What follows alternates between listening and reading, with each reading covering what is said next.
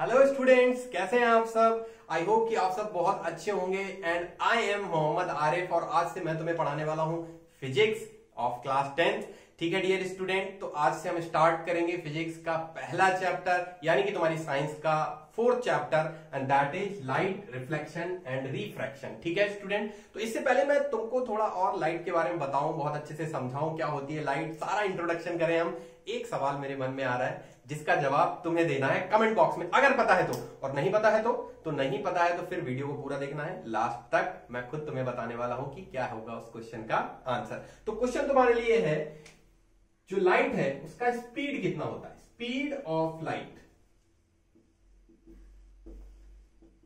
in air और vacuum एक ही बात है, अभी के लिए एयर और वैक्यूम में जो स्पीड ऑफ़ लाइट है, वो कितना होता है? अगर तुमको इसका आंसर पता है, जल्दी से कमेंट करके बता दो, अभी।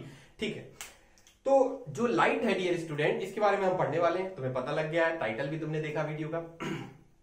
सबसे बड़ा और सबसे पहला सवाल जब आता है, हमारे पास जब हम लाइट चैप्टर स्टार्ट करते हैं अपना तो सबसे पहला जो क्वेश्चन होता है dear student that is what is light okay dear student what is light तो ये मिलियन डॉलर क्वेश्चन है मिलियन डॉलर क्योंकि ये जो क्वेश्चन है, इसमें बहुत सारी क्यूरियोसिटी है। हम जब से इस अर्थ पर आए हैं, जब से हमारा बर्थ हुआ है, जब से हम इस दुनिया को देखा हमने लाइट का उसमें बहुत बड़ा रोल है। जैसे हम ऑब्ज़र्व कर रहे हैं चीज़ों को, उसमें लाइट का बहुत बड़ा रोल है। हम देख पा रहे हैं किसी चीज़ को लाइट का बहुत बड़ा रोल है। है कि नहीं है? भाई, जैसे देखने के लिए, अगर हम किसी ऑब्जेक्ट को देख रहे हैं तो किन दो चीज़ों की ज़रूरत है? हमें ज़रूरत है कि हमारी आँखें हो ऑब्वियसली और अगर आँखें नहीं होंगी तो भी नहीं दिखाई देगा। और हमें ज़रूरत है लाइट की। बिकॉज़ जैसे कि तुम रूम पर होते हो रूम पर तुम हो, तुमने क्या किया? स्विच ऑफ़ कर दिया लाइट का। तो तुम्हें कुछ भी नहीं दिखाई देगा अनलेस तुम्हारी विंडो से सनलाइट ना आ रही हो। वो भी एक लाइट है, ठीक है? अगर कोई लाइट का सोर्स ना हो वहाँ पर तो तुम्हें कुछ भी नहीं दिखाई देगा। दैट मीन्स टू व्यू और to observe anything you need light that's why the chapter is here light reflection and refraction तो तुम्हें मैं बताने वाला था कि लाइट है क्या? वॉट इज़ लाइट सबसे बड़ा क्वेश्चन डियर स्टूडेंट अगर टेक्निकली बात करें टेक्निकली अगर हम लाइट के बारे में सोचेंगे लाइट बेसिकली क्या होता है? तो light is a form of energy अब ध्यान से सुनना मेरे वर्ड्स को। Light is a form of energy ठीक है? Light is a form of energy अब ये एनर्जी क्या है और ये कहाँ से जनरेट होती है? ये सारी चीज़ें हैं। एक तुमने वर्ड सुना होगा, नहीं सुना होगा तो कोई टेंशन नहीं है। इलेक्ट्रोमैग्नेटिक वेव ठीक? क्या वर्ड में बोने बने बोला? इलेक्ट्रोमैग्नेटिक वेव थोड़ा नाम बड़ा सा लग रहा है। पहली बार सुना होगा तो अजीब लगेगा, लेकिन डरने की ज़रूरत नहीं है। जो भी हमारी लाइट है this is an example of electromagnetic wave electromagnetic wave नाम का कोई चीज़ होती है, जिसका एग्ज़ाम्पल हमारा क्या है? लाइट एक इसका एग्ज़ाम्पल है। अब मैं अगर तुम्हें बताऊँ कि इलेक्ट्रोमैग्नेटिक जो वेव है, इसके कई पार्ट होते हैं। स्पेक्ट्रम होता है। अलग अलग वेवलेंथ होती है उन पार्ट्स की। अगर हम वेवलेंथ के डिक्रीजिंग ऑर्डर में उन पार्ट्स को लिखें तो मैं जैसे मैं लिखना शुरू करता हूँ रेडियो वेव्स, ठीक है, microwaves, infrawaves, infrared waves and here comes our important visible light visible light and then UV rays X ray सुना होगा तुमने एक्सरे ठीक है मेडिकल में कई बार हॉस्पिटल में हम जाते हैं एक्सरे करवाते हैं एक्सरेज एंड गामा रेज ये अलग अलग टाइप की रेज हैं, लेकिन these are all are example of electromagnetic wave समझ में आ रही बात? तो इलेक्ट्रोमैग्नेटिक वेव का एक छोटा सा हिस्सा छोटा सा पार्ट जो कि होता है विजिबल लाइट जो कि हमें दिखाई देता है। ना तो हमें रेडियो वेव दिखाई देती है, ना ही माइक्रोवेव दिखाई देती है, ना ही इंफ्रारेड ना ही यूवी रेज ना ही एक्सरेज ना ही गामा रेज ये कुछ भी नहीं दिखाई देता। हमें सिर्फ़ कौन सा पार्ट दिखाई देता है इलेक्ट्रोमैग्नेटिक वेव का? विजिबल लाइट तो अभी समझ में आ रहा है, एक टेक्निकल टर्म मैंने तुमको बताया इलेक्ट्रोमैग्नेटिक वेव्स होती हैं। वेव्स का अलग अलग क्या होता है? वेवलेंथ होता है, ठीक है? वेवलेंथ होता है।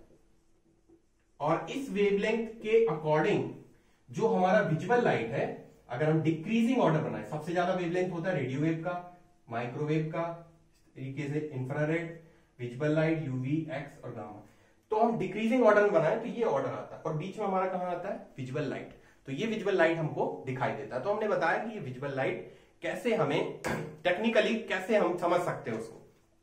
अब बात आती है जहाँ पे मैंने शुरू किया था कि हम कैसे देख पाते हैं। हाउ डू वी सी ये तो बात मैंने कर ली। वॉट इज़ लाइट ठीक है लाइट की बात कर ली। How do we see dear student हम बहुत सारे ऐसे फिनोमिनाज हैं जो देख पाते हैं।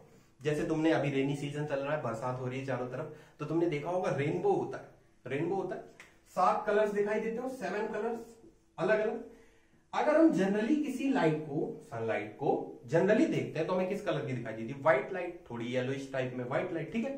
लेकिन जब रेन हो रही होती है तो एक पर्टिकुलर जगह पर लोकेशन में हमें सेवन कलर्स दिखाई देते हैं। What does it mean this means that white light contains all seven colours जिनको हम विप विप ग्योर के नाम से भी जानते हैं, ठीक है?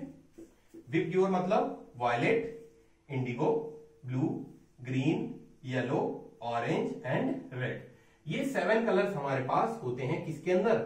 व्हाइट लाइट के अंदर, ठीक है? व्हाइट लाइट के अंदर। सातों कलर होते हैं। अब कोई ऑब्जेक्ट तो हमें नीला दिखाई देता है, कोई ऑब्जेक्ट पीला दिखाई देता है, कोई ऑब्जेक्ट ग्रीन दिखाई देता है कोई ऑब्जेक्ट व्हाइट दिखाई देता है और कोई ऑब्जेक्ट ब्लैक दिखाई देता है। बहुत सारे अलग अलग कलर्स दिखाई देते हैं हमें दुनिया में। ठीक है? जैसे मेरी शर्ट का कलर व्हाइट है, ठीक? तो ये व्हाइट क्यों है? कैप का कलर ब्लैक है तो ब्लैक क्यों है? ऐसा क्यूरियसिटी हो सकती है तुम्हारे मन में। यहाँ पर भी रोल है किसका? लाइट का और उस ऑब्जेक्ट का। How do we see question है ना? हाउ डू वी सी तो जैसे हम किसी चीज़ का कलर अगर हम ब्लैक देख रहे हैं या किसी चीज़ का कलर हम ग्रीन देख रहे हैं, उसके पीछे एक फिनोमिना है। फिनोमिना है कि वो जो हमारे पास ऑब्जेक्ट है व्हाइट लाइट सेवन कलर्स कोई भी व्हाइट लाइट होगी, जैसे ट्यूबलाइट की लाइट बल्ब की लाइट सनलाइट की लाइट ये ऑल आर व्हाइट लाइट उसमें कितने कलर्स होंगे? सेवन कलर्स होंगे. अब जब ये व्हाइट लाइट किसी ऑब्जेक्ट के ऊपर पड़ेगी, जैसे मैंने यहाँ पर बनाया एक ऑब्जेक्ट ऐसे व्हाइट लाइट आई उस पर और व्हाइट लाइट ने क्या किया? रिफ्लेक्ट हो गई. ये सारे फिनोमिना हम पढ़ेंगे, कैसे रिफ्लेक्शन होता है पढ़ेंगे। अभी के लिए समझ लो कि ऐसे रिफ्लेक्ट हो गई। और रिफ्लेक्ट होने पे क्या होता है डियर स्टूडेंट सेवन कलर्स की जब अलग अलग वेवलेंथ पे ये व्हाइट लाइट आ रही होती है तो जो ऑब्जेक्ट होता है, जो किसी एक कलर का हमें दिखाई देता है, ये जो रिफ्लेक्टेड पार्ट है, जो रे रिफ्लेक्ट होके निकलती है, वो सिर्फ़ एक ही कलर की होती है। जैसे मैंने कहा कि ये ब्लैक दिख रहा है, या अभी के लिए ले लेते हैं ब्लू दिख रहा है, ठीक है? इसका मतलब क्या हुआ? ये जो सेवन आए वायलेट इंडिगो और ब्लू इसमें से सिर्फ़ ब्लू ही है जो रिफ्लेक्ट हुआ। और रिफ्लेक्ट होकर कहा गया हमारी आई पर। ठीक है? जहाँ से हम देख पा रहे हैं। इनेबल हो रहे हैं जहाँ से हम देखने के लिए। यानी कि जो कलर की रे वापस आएगी रिफ्लेक्ट होके, वही चीज़ हमें दिखाई देगी। ठीक है? अब तुम कहोगे, सर, इसमें ब्लैक तो कहीं है ही नहीं। कई कई ऑब्जेक्ट ब्लैक भी दिखाई देते हैं। बिल्कुल, दिखा सकते हैं कई ऑब्जेक्ट ब्लैक कैसे दिखते हैं? जब ये जो सातों कलर हैं, सातों कलर की अलग अलग रेज हैं अलग अलग रेज हैं, ये सारे के सारे किसी एक ऑब्जेक्ट में कोई भी ऑब्जेक्ट हमने मान लिया, जैसे मैंने कहा यहाँ पर एक कोई ऑब्जेक्ट है, ठीक है? यहाँ पर कोई एक ऑब्जेक्ट है, और यहाँ पर हमने क्या डाला? व्हाइट लाइट व्हाइट लाइट यहाँ पर भी व्हाइट लाइट वहाँ पर तो एक रे क्या हो गई थी? रिफ्लेक्ट हो गई थी, जो कि कौन से कलर की थी? ब्लू कलर की। लेकिन यहाँ पर क्या हो रहा है कि ये जो जो मटेरियल है, जो ऑब्जेक्ट है, वो इस तरीके का है कि वो सारा का सारा रेज एब्जॉर्ब कर ले रहा है। खुद ही समेट ले रहा है। और जब ऐसा हो जाता है कि कोई भी रे यहाँ से रिफ्लेक्ट नहीं हो पा रही, कोई भी रे, किसी भी कलर की रे रिफ्लेक्ट नहीं कर पा रहा है वो तो जब कोई कलर नहीं रिफ्लेक्ट होता है, तब हम बोलते हैं कि वो ऑब्जेक्ट हमको कैसा दिखेगा? ब्लैक कलर का। ठीक है? ब्लैक कलर का समझ में आ गई बात? इसी तरीके से कोई ऑब्जेक्ट व्हाइट कैसे दिखता है? जैसे ये व्हाइट बोर्ड व्हाइट क्यों दिख रहा है। डियर स्टूडेंट जैसे हमने देखा कि अगर हमको इन सातों कलर में से कुछ रिफ्लेक्ट होगा तो वो दिखाई देगा। कोई कलर रिफ्लेक्ट नहीं होगा तो ब्लैक दिखाई देगा। और अगर सातों कलर रिफ्लेक्ट हो जाए मतलब कि कोई ऑब्जेक्ट ऐसा हो, जैसे कि ये व्हाइट बोर्ड है, इसकी ऐसी प्रॉपर्टी है कि ये लाइट से जो व्हाइट लाइट जो है हमारे पास व्हाइट लाइट के सेवन कलर्स जो हैं सेवन के सेवन कलर्स को रिफ्लेक्ट कर रहा है। यानी कि ये कैसा दिखेगा? व्हाइट दिखेगा। So this is explanation of how do we see colours कैसे कलर्स दिखते हैं डिफरेंट कलर्स कैसे दिखते हैं, और हमको दिखता कैसे अब बात आती है कि दिखता कैसे जब ये रिफ्लेक्ट हो जाती है रेस ये अब करती है हमारे कहाँ पर? आँखों पर आइस पर। और आइस पर जो रेस पड़ती हैं, हमें वही दिखाई देता है। यानी कि मान लो कोई ऑब्जेक्ट हम देख पा रहे हैं। जैसे मैंने कहा कि जैसे कोई क्रिकेटर है, खेल रहा है, ठीक है पिच पर खड़ा हुआ है। अगर वो बॉल को देख पा रहा है बॉल नहीं दिखाई देगी तो बॉल बैट पे लगेगा नहीं, ठीक है? अगर वो बॉल को देख पा रहा है, इसका मतलब क्या है कि जो सनलाइट है, जो रे है, जो लाइट का सोर्स है वहाँ पर, उसकी रेस कहाँ पे पड़ रही है? बॉल पर पड़ रही हैं। और बॉल से टकरा कर रिफ्लेक्ट हो रही हैं और रिफ्लेक्ट होके कहाँ पे जा रही हैं? क्रिकेटर की आईज पर। तभी वो देख पा रहा है कि बॉल है। समझ में आ रहा है? अगर ऐसा हो जाए कि किसी ऑब्जेक्ट पर रेस ना पड़े या पढ़ के वापस ना आए हमारी आँखों में तो वो ऑब्जेक्ट हमें नहीं दिखाई देगा। दिस इज़ द थ्योरी समझ में आ रही है अभी बात की कोई ऑब्जेक्ट कैसे दिखाई देता है और कैसे नहीं दिखाई देता है?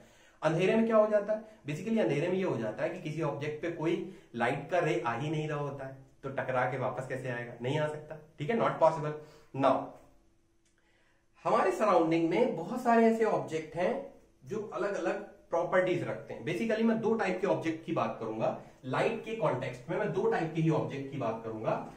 एक तो ऐसे ऑब्जेक्ट जो कि खुद से लाइट को इमिट करते हैं। मतलब लाइट को निकालते हैं अपने अपने से। सोर्स ऑफ़ लाइट कह सकते हैं ठीक है? तो टाइप ऑफ़ ऑब्जेक्ट पढ़ रहे हैं टाइप ऑफ़ ऑब्जेक्ट ठीक है? दो टाइप के ऑब्जेक्ट होते हैं।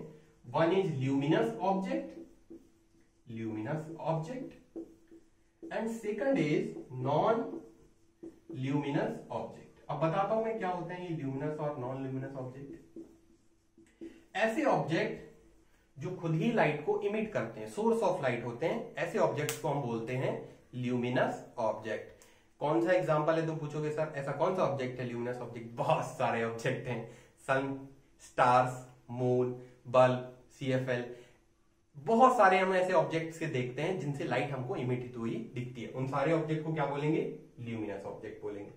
सेकंड नॉन ल्यूमिनस ऑब्जेक्ट वो सारे ऑब्जेक्ट जो खुद से लाइट को इमिट नहीं करते हैं। जैसे मैं मैं कोई लाइट इमिट नहीं करता हूँ, ठीक है?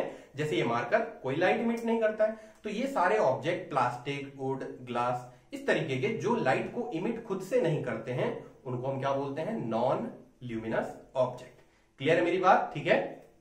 नेक्स्ट नेक्स्ट जो चीज़ आती है लाइट के बारे में तो ये ऑब्जेक्ट की बात हो गई कि ऑब्जेक्ट पे लाइट पड़नी थी तो भाई ऑब्जेक्ट की बात कर ली हमने कि ऑब्जेक्ट दो टाइप के होंगे। नेक्स्ट बात आती है कि जो लाइट है,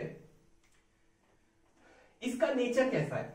जब हम किसी से पहली बार मिल रहे होते हैं तो हम क्या पता करते हैं, इसका नेचर कैसा है? कैसा बिहेवियर है इसका? तभी तो इससे दोस्ती की जाए, वरना तो फिर बेकार। अच्छा नेचर मैच नहीं करेगा तो मज़ा नहीं आएगा। तो जो लाइट का नेचर है, वो भी हम स्टडी करेंगे। Nature of light nature of light dear student जो बिहेवियर ऑफ़ लाइट या नेचर ऑफ़ लाइट है, ये टू टाइप से होता है। हम सबका नेचर एक ही तरीके का होता है। नहीं कभी कभी दो तरीके का भी होता है। अलग अलग लोगों के लिए अलग अलग नहीं। जो लाइट है, इसका दो टाइप का नेचर होता है। One is particle nature particle nature and second is wave nature second is wave nature ठीक है? बेसिकली डियर स्टूडेंट हुआ क्या? जब लाइट का हमारे पास रिसर्च चलता है साइंटिस्ट लोग डिस्कवरी कर रहे होते हैं तो हमने वहाँ पर देखा कि पार्टिकल नेचर है। लाइट का उन्होंने साइंटिस्ट ने क्या डिस्कवरी की? इन्वेंशन क्या? कि लाइट जो है हमारे पास, वो पार्टिकल नेचर है। पार्टिकल नेचर मतलब ऐसा उन्होंने बताया कि जो लाइट है बेसिकली उसमें क्या एनर्जी के छोटे छोटे बंडल्स हैं। उनको हम क्या बोलते हैं? उनको बोलते हैं फोटॉन्स ये नाम याद रखना, काम आएगा आगे, जब तुम इलेवन ट्वेल्थ में पहुँच जाओगे। पार्टिकल नेचर का मतलब होता है कि light is having lots of millions of numbers of photons ठीक है? फोटॉन्स बोले तो बंडल ऑफ़ एनर्जी ठीक? क्योंकि हमने पहले डेफिनेशन में लिखा हुआ है कि लाइट क्या है? Is a form of energy तो यहीं से फोटॉन्स होते हैं जो कि क्या होते हैं? बंडल ऑफ़ एनर्जी होते हैं, ठीक? तो बहुत सारे फोटोन से कंस्टिट्यूट होता है हमारा लाइट और हमने क्या बोल दिया? पार्टिकल नेचर है। फिर क्या हुआ? आगे साइंटिस्ट आते गए नई नई डिस्कवरीज होती गई नई नई चीज़ें खोजी गई नए नए एक्सप्लेनेशन लाए गए। तो वहाँ पे पता चला कि लाइट जो है एज अ वेव भी बिहेव करती है। वेव समझते हो ना इस तरीके से? एज अ वेव भी बिहेव करती है। फिर बात आई कि कौन सा नेचर माना जाए? कई टाइप के साइंटिस्ट थे। ये जो वेव नेचर दिया था उन साइंटिस्ट का नाम था हाइगेन, ठीक है? हाइगेन इन्होंने दिया था। तो कई टाइप के साइंटिस्ट थे, सबने अपनी अपनी थ्योरीज दी। जब लड़ाई हो गई, यहाँ पर मुद्दा ठन गया कि कौन सा नेचर माने? पहले तो कहा गया कि पार्टिकल नेचर है फोटॉन्स होंगे यहाँ पर, और अब कह रहे हो कि वेव नेचर है। तो फिर मामला फंस गया। और जब मामला फंस गया तो एक बड़े साइंटिस्ट थे, बहुत बड़े साइंटिस्ट उनका बहुत जलवा था मोहल्ले में पूरे। वो आए, उन्होंने कहा लड़ो मत, मैं बताता हूँ क्या करना है। फिर क्या करना है? बोले, ऐसा करो, तुम भी खुश रहो और तुम भी खुश रहो। बोले मतलब? बोले मतलब ये कि ऐसा मान लेते हैं कि लाइट पार्टिकल नेचर भी है और वेव नेचर भी है। क्या प्रॉब्लम है? बात तो सही है यार, क्या प्रॉब्लम है? तो तब से क्या हुआ कि ऐसा मान लिया गया कि लाइट का क्या है? दोनों नेचर है। पार्टिकल नेचर भी है और वेव नेचर भी है। जहाँ पर हमें जिस टाइप के नेचर की ज़रूरत होती है, उस टाइप के नेचर को हम यूज़ कर लेते हैं। जहाँ पर मतलब जहाँ पर मतलब जिस तरह के एक्सप्लेनेशन की हमें ज़रूरत होती है अगर हम बात करेंगे शेडोज की या रिफ्लेक्शन की अलग अलग की तो हम बात कर सकते हैं पार्टिकल नेचर की। और जहाँ पर हम इंटरफेरेंस डिफ्रैक्शन इनकी बात करते हैं तो बात कर लेते हैं हम वेव नेचर की। सो डियर स्टूडेंट ये था मैंने थोड़ा सा तुमको इंट्रोडक्शन दिया आज कि कैसे लाइट होती है, कितने टाइप के ऑब्जेक्ट होते हैं, हम कैसे देख पाते हैं। अब वक्त आ गया है जो मैंने तुमसे क्वेश्चन पूछा था, उसका आंसर देने का।